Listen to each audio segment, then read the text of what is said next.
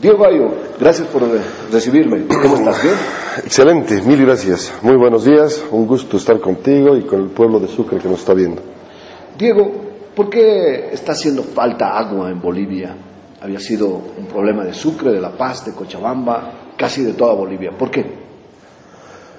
Yo creo que hay muchas razones y se puede ir caso por caso viendo sus características principales, pero a pesar de eso, a pesar No del sello, Por falta de lluvia. ¿no?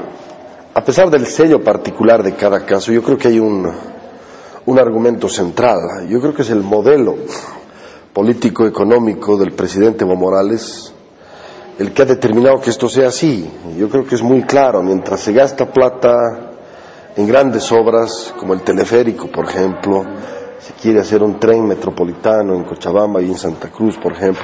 Pero en todo caso, se han hecho, por ejemplo, 300 estadios, ¿no? Es decir, um, 1.500 estadios por un valor de 300 millones de dólares. Mientras hemos, hemos puesto la plata en, en ciertas obras, no necesariamente imprescindibles, hemos dejado de poner plata en obras estratégicas, como el desarrollo económico, por ejemplo, generar cadenas productivas, fomentar el empleo, mejorar el empleo y, por supuesto, meterle mucha plata a salud, cosa que no hemos hecho. Somos el país de América Latina con peor inversión en salud per cápita. Y, entre otras cosas, meterle mucha plata al tema de agua. No podíamos dejar este tema pendiente, es un tema estratégico.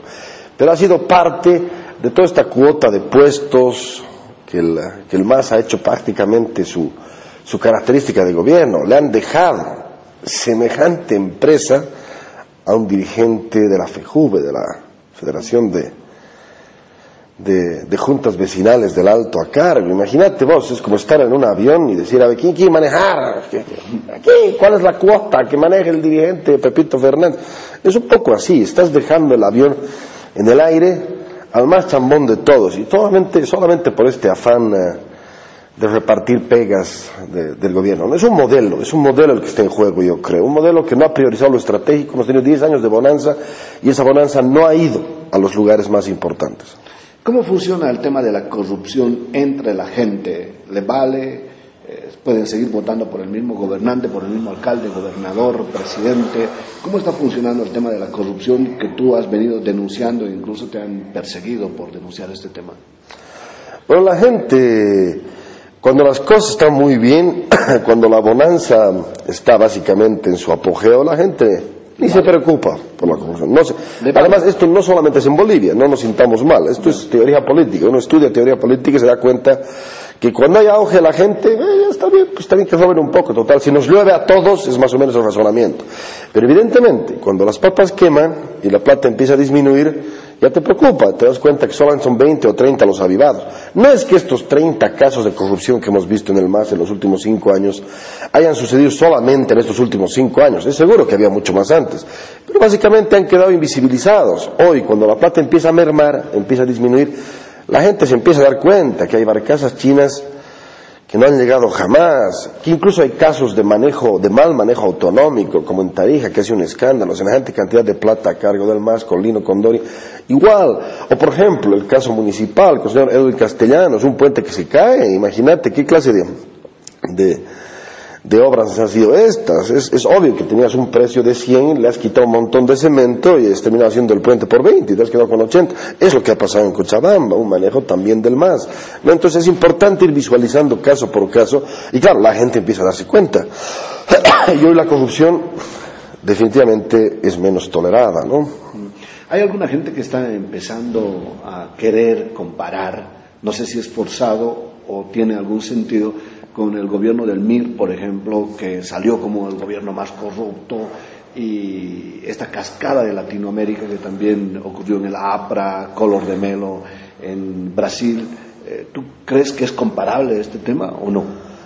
Eh, sin duda que sí, hay un sello ahí común en todos los gobiernos de nuestro país, que en general el Estado sirve para enriquecer algunos cuantos. Eso es importante decirlo, y eso era la época neoliberal, con toda seguridad, como en esta época, como en la época del 52. Muchas fortunas, yo diría la mayor cantidad, habría que hacer un estudio exhaustivo, se han hecho al calor del Estado. Papá Estado con truquitos, te haces dar licitaciones amañadas, te haces dar pegas, te haces dar cargos, es el Estado.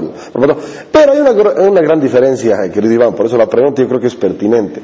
Si tú te pones a pensar el caso de los gastos reservados que el gobierno denuncia hoy en día, los gastos reservados, de acuerdo al ministro de la Presidencia, Juan Ramón Quintana, suponen un monto de 1.400 millones de bolivianos, 200 millones de dólares, en 20 años. Solamente el fondo indígena supone 200 millones de dólares, un poquito menos, 189. Pero básicamente, con un solo caso de corrupción, posiblemente uno de los más escandalosos de nuestra historia, empatamos a los 20 años de gastos reservados, que en todo caso eran relativamente legales, tampoco quiero encubrir, era una cochinada, era una cosa evidentemente, de, como dice la palabra, gasto reservado, todo por atrás, digamos, reservado, medio oculto. Pero un solo caso empata a, a, a 20 años de acusación de, de lo que es, digamos, el, el, argumento central del gobierno para acusar al, al periodo previo, ¿no? Y con esto no quiero defender al periodo previo. Corruptos entran de cualquier línea y yo no me caso con la corrupción, tienen que entrar todos. Pero en todo caso hay que dimensionar, hemos tenido cinco, seis, siete veces más plata en este gobierno. Se hacen licitaciones monstruosas. Nunca hemos tenido una licitación como la que tenemos hoy en día, por ejemplo, en Cochabamba, en la parte del Chapare, con lo que es la planta de amoníaco y urea, 850 millones de dólares. La más grande que tuvimos fue Carachipampa en aquellas épocas que fue 150, es decir, realmente las inversiones son mucho más grandes y, y, y cuantiosas. Y es la mucho... tajada, por lo tanto, es más Ah, no quiero decir eso, pero todos sabemos que la cosa funciona con, con el famoso quinciño, ¿no? El no, famoso no, diezmo. No quería decirlo, yo lo dije. Eh, Diego, eh, la última pregunta. ¿Hay un nuevo modo de hacer política? ¿Hay un nuevo modo de hacer campaña? Me refiero a Donald Trump. ¿Se va a poner de moda ese, ese modo de hacer política? Yo creo que hay un antes y un después. Es excelente la pregunta con Donald Trump. Es evidente que los mejores analistas, por ejemplo, Farid Zakarías, un PhD en Harvard, dijo dos semanas antes, la peor campaña electoral de la historia, dijo de lo de Trump. No hace caso a sus campañólogos, hace lo que da la gana, no tiene un programa, decía. Mentira. Al final demostró este señor Trump, que me parece reaccionario, racista, vulgar, eh, sexista. No hacer caso, supuestamente, era el modo de Estaba haciendo caso. No, pero estaba haciendo caso, y muy bien más bien. Y lo está haciendo, además, no solamente estos últimos tres meses, sino hace 15 años, desde que tiene su programa El Aprendiz.